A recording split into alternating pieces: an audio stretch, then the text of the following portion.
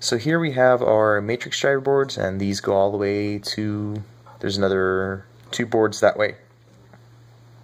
So what you need to do is just connect these directly across. So you have a data pin here. It's kind of upside down, sorry. There's a data, CLK, a CS, a V minus, and a V plus here. So these connect directly across to the control board.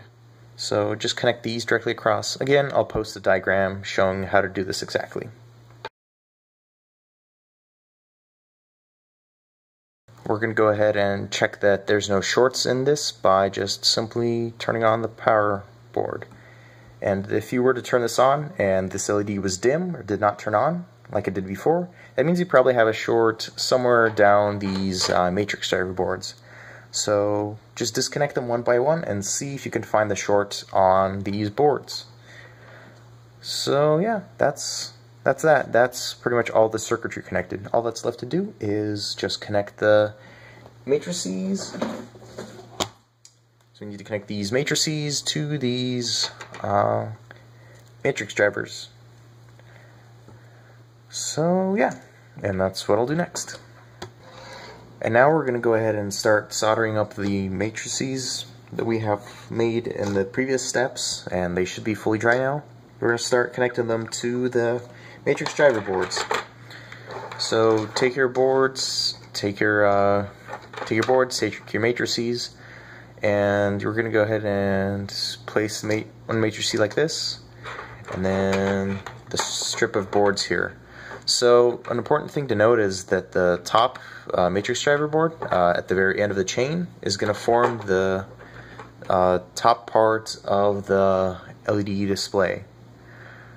So what that means is that um, once assembled, uh, this will be the very top of the display when this is connected to this board. So all the text will scroll up to the top here and end here. Uh, I hope that was kind of explanatory. Um, so we're going to need to connect this matrix to this matrix driver board. So I'll make a diagram showing exactly which uh, which wire to connect to which pad on the board here. And I'll probably take a screenshot of this.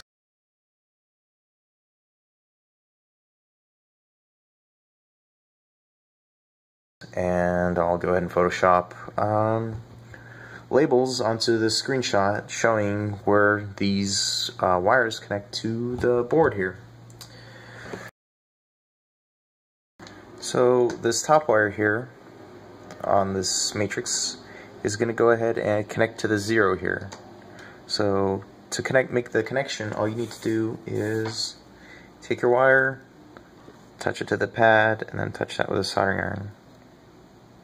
And it should connect.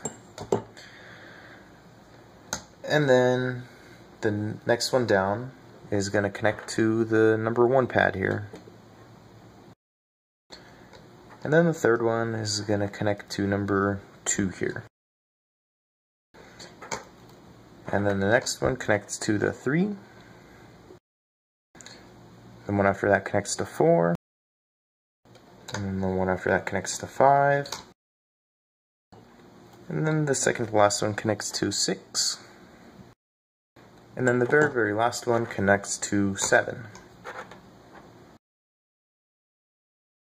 And then we're going to take the rightmost most wire here, and we're going to connect it to the pad marked DP here. And then the next one after that, we're going to connect to A. And then the one after that gets connected to B. And then the one after that gets connected to C.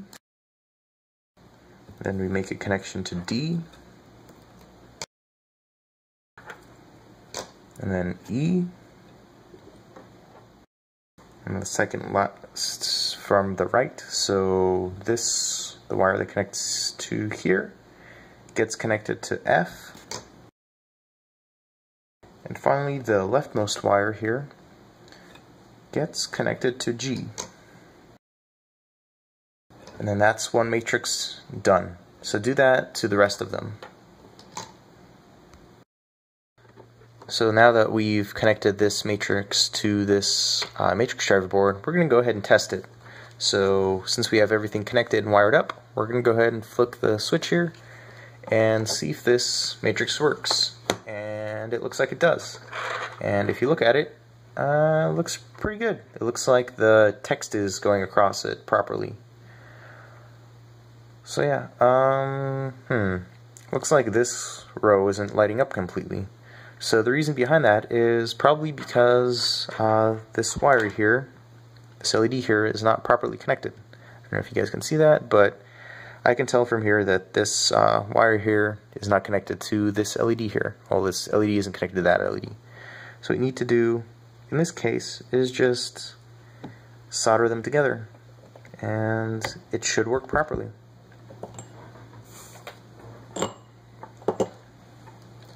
So it might be a little bit tricky to uh, solder through this paint. So either you could remove it by scraping it or uh, taking it off with some isopropyl alcohol or you could just try burning through it. So just reconnect these. Come on. There we go. Also, try not to breathe the smoke that comes off of this because it's probably even more toxic than it was before. So yeah, and also you should probably uh, turn this battery pack off when you're working on these, uh, when you're soldering here, because you probably you can short something out. So yeah, so we know for a fact that this matrix is properly connected. And yeah, so we're going to go ahead and start connecting the rest of these matrices. So again, remember the pattern uh, that you did for the first one. And again, follow the diagram that I've posted. So I'm going to go ahead and just connect all these boards to the matrices, and then I'll pick it up from there.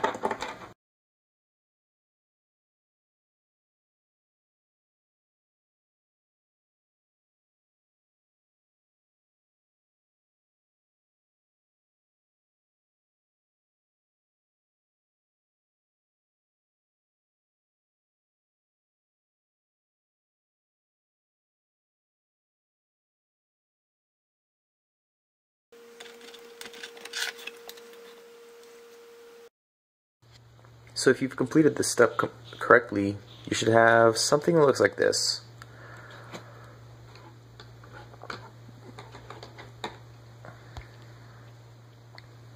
So you can see all these matrices are working properly. And yeah, so since we know for a fact that all these work just right, it's a good idea to reinforce all the connections that come off these boards. So I'll show how to do that in a second.